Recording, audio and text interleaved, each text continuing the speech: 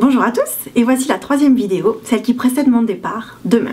Alors dans cette dernière vidéo, je voulais vous parler un petit peu des préparatifs et surtout de ce qu'est-ce qu'on va faire une fois qu'on est là-bas. Ces derniers mois encore, je n'ai pas chômé, j'ai pu rencontrer euh, plein de personnes qui m'ont sponsorisé lors d'événements divers et géniaux, avec plein d'enthousiasme et plein de volonté pour faire des actions qui aident à changer le monde. Il y a eu une après-midi entière au cinéma de Cotignac grâce à différents partenaires. Nous avons visionné le documentaire La glace et le ciel qui retrace la vie du glaciologue français Claude Lorius qui a découvert en Antarctique la preuve du réchauffement climatique. Ensuite, nous avons fait deux débats avec les acteurs locaux euh, dans, le Var. Euh, un sur le réchauffement climatique et les points de vue de différentes personnes, et un sur euh, le rôle des femmes en leadership. Et puis après ça, j'ai donné une conférence sur les clés d'un changement de vision nécessaire pour un futur positif. Comme je fais partie des 24 lauréats du concours Femmes en Vue par l'association Vox Femina, j'ai pu euh, recevoir une formation euh, télévisuelle dans les studios de TF1 à Paris. Il y a seulement 18% de femmes expertes dans les médias en France actuellement et grâce à cette formation, je fais partie des bases de données pour être appelée à intervenir si besoin. Toujours à Paris, j'ai pu rencontrer le dirigeant de la société Coq. Ce sont des créateurs éthiques pour enfants, euh, à base de matériaux innovants, mais aussi à base de design qui mettent en, en, image des animaux en danger et qui reversent une partie de leurs revenus à des ONG de conservation de la nature.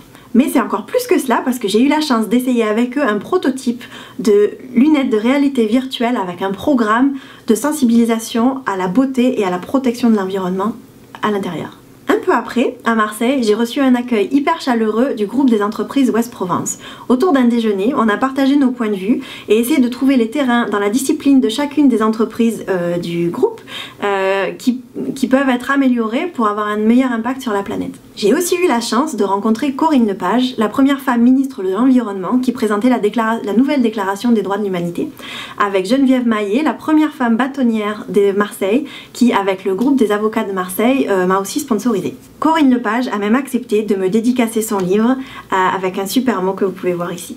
Et enfin, grâce à la marque euh, marseillaise Caporal, j'ai pu avoir un budget qui me permet de m'habiller avec leur marque pendant toute l'expédition à bord du bateau.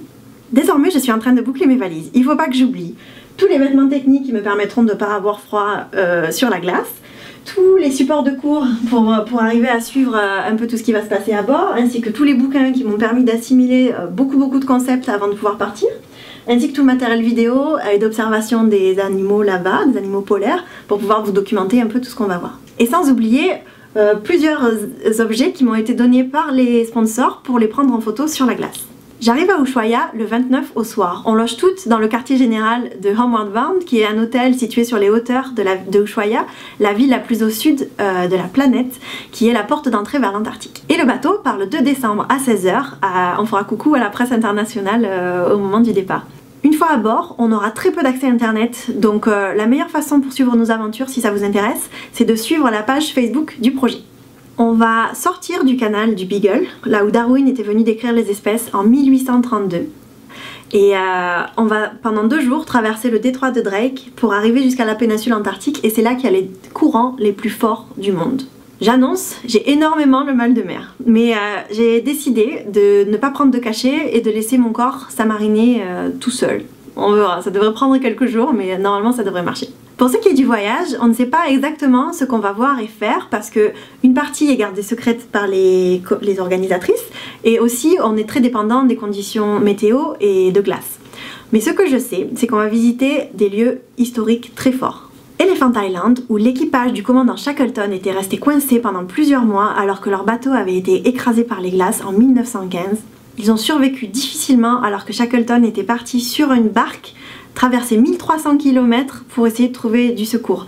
Ils sont arrivés en Géorgie du Sud, ils ont traversé les montagnes enneigées sans chaussures adaptées euh, pendant 36 heures et ils ont pu trouver des secours et revenir chercher tout l'équipage sans aucune perte. Nos cours de leadership commencent à ce moment-là. Ensuite, nous mettons le cap vers Deception Island. Ce cratère écroulé d'un volcan enneigé abrite la toute première station baleinière terrestre euh, qui date de 1800 on va être témoin de la folie humaine de, cette époque qui a décimé des millions de cétacés et jusqu'au moment où il n'y avait plus rien et ils ont tout laissé sur place, ils sont rentrés chez eux.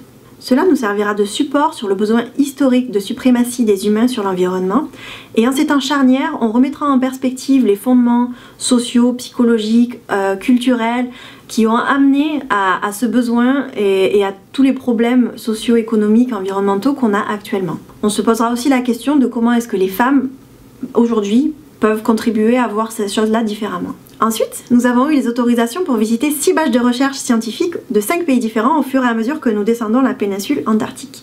Il y aura euh, une base des États-Unis, une base ukrainienne, une base italienne, une base argentine et deux bases anglaises. Ça va leur faire drôle quand ils vont voir un bateau de 80 femmes débarquer euh, au milieu de nulle part. Les femmes sont arrivées en Antarctique 100 ans après les hommes et elles ont été bannies euh, jusqu'en dans les années 50. Aujourd'hui, elles ne représentent qu'un tiers à tout casser des rôles logistiques et scientifiques sur place et très peu euh, en leadership. Sur les bases scientifiques, nous interagirons avec les gens pour comprendre deux types de choses liées à notre formation. La première, c'est la gestion des relations entre les personnes, mais aussi les actions collectives pour le bon fonctionnement des bases scientifiques en telles conditions d'isolement. Et cela sera bien en accord avec notre formation en intelligence émotionnelle, politique et négociation. Et bien sûr, la deuxième chose, c'est de travailler sur l'influence des changements globaux sur euh, différentes disciplines scientifiques, une fois qu'on sera sur place avec euh, les personnes qui en connaissent le plus. En écologie, pour étudier les mécanismes d'adaptation ou de migration des espèces face au réchauffement climatique. En géologie, pour mieux prédire l'augmentation du niveau des océans. En climatologie, pour mesurer l'impact de la pollution sur la couche d'ozone, par exemple. Et en glaciologie, pour comprendre les climats du passé quand il n'y avait pas d'hommes ce sera l'été là-bas et il fera jour en permanence. Donc nous allons très peu dormir, beaucoup travailler euh, et faire un maximum d'activités sociales, euh, sportives, des quiz, des soirées déguisements, euh, pour tisser les liens entre nous et pouvoir s'entraider dans le futur. Nous allons aussi travailler sur des méthodes de communication scientifiques traditionnelles et innovantes. Il a été prouvé que c'est la connexion émotionnelle qui peut servir de déclic pour que les gens s'investissent pour la protection de l'environnement. Et donc ça peut passer par l'art euh, notamment. Alors il a été mis en place euh, à bord un programme artistique qui va durer tout au long de la traversée pour notre session, mais aussi pendant les 9 années à suivre qui va créer une œuvre d'art sur les 10 années. Pour finir, nous traverserons des lieux féeriques particulièrement inspirants.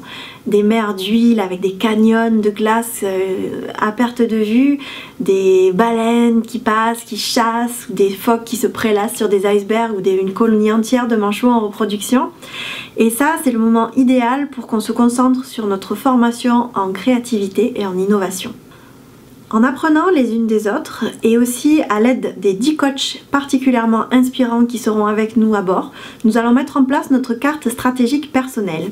C'est ce qui trace nos objectifs en fonction de notre personnalité, de nos passions, de nos valeurs, de ce qui est important pour nous ainsi que de nos connexions euh, à la maison. Je vous montre ici la carte stratégique de Homeward Bound et je vous invite à poser pour pouvoir la lire plus en détail. On voit bien qu'elle repose sur trois piliers dont je vous avais parlé dans ma deuxième vidéo.